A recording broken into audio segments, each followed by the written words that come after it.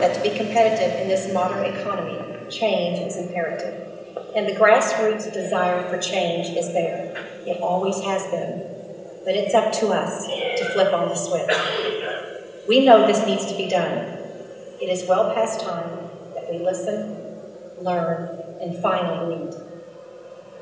Now, those words were in fact spoken by Prime Minister Trudeau.